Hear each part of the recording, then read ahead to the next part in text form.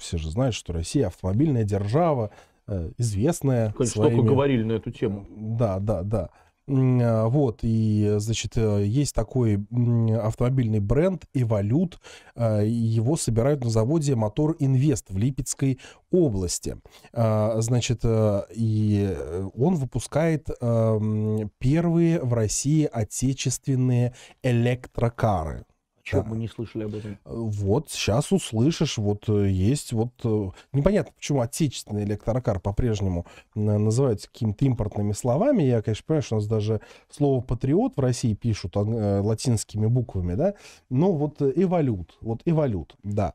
Есть несколько нюансов, значит, вот эм, Э, там в этом автомобиле 90%, 98% э, самого автомобиля это запчасти. импортные запчасти.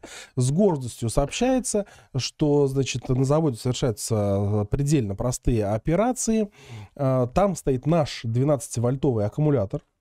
Да, вот этот вот самый обычный аккумулятор 12-вольтовый, как его в любой обычный автомобиль, вот он там тоже есть, и он отечественный, да.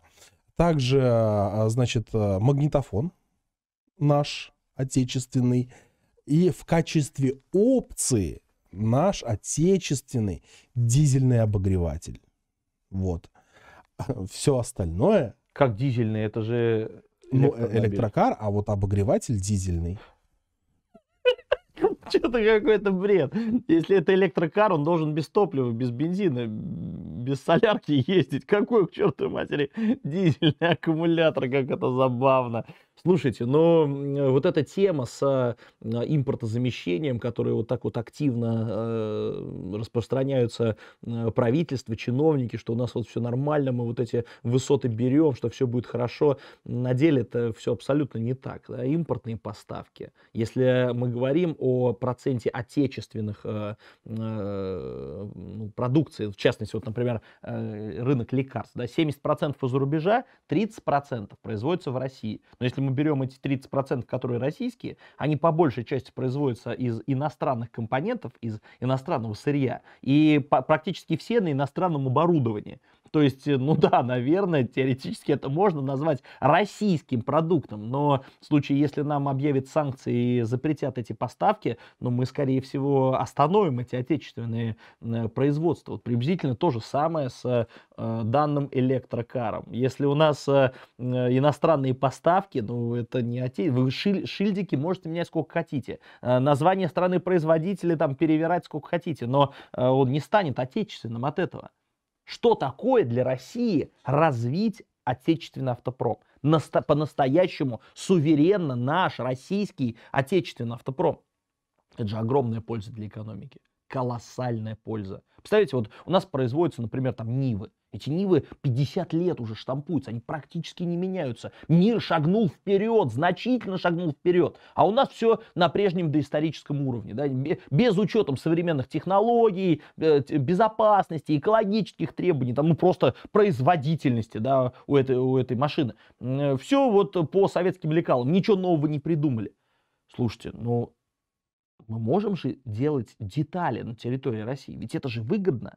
Эти машины продаются, нищее население, которое не может позволить себе более дорогие, качественные, безопасные машины из-за того, что у них доходы на э, там, уровне ниже плинтуса. Они вынуждены покупать то, на что им хватает денег. Но производите вы эти тормозные колодки в России, производите вы двигатели, кузова, э, кондиционеры, я не знаю, там стеклоподъемники, э, все для этой машины, там прокладки и э, все остальное. Делайте у нас в стране, ведь это же востребованная продукция.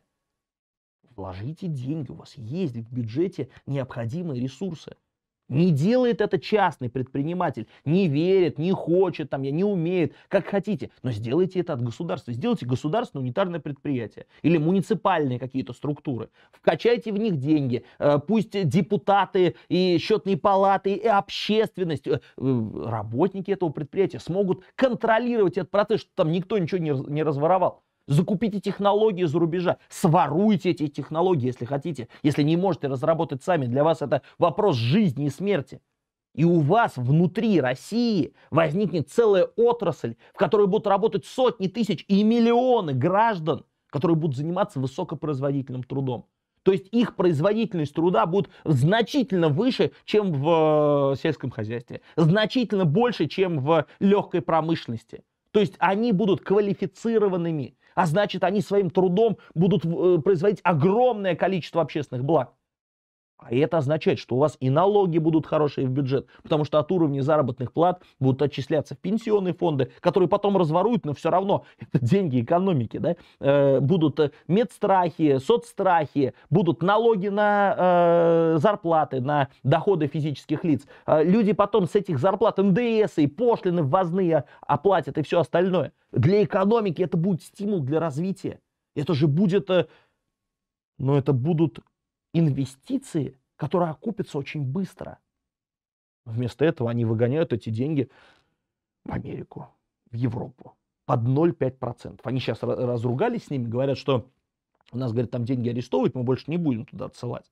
Хотя это не точно, они засекретили все эти данные. Черт его знает, может, и отсылают. Но с тех данных, которые нам известны, они э, решили э, часть э, средств ФНБ переложить в Китай, в юане. Они туда эти деньги засунули. Китайское правительство говорит, вы знаете, это очень хорошо, что вы деньги положили, но распоряжаться этими деньгами вы можете только с разрешения правительства Китая. Это что за суверенитет? Это что за э, а, новые господа, которые нами руководят? Но мы что, не можем найти более эффективное применение этим деньгам?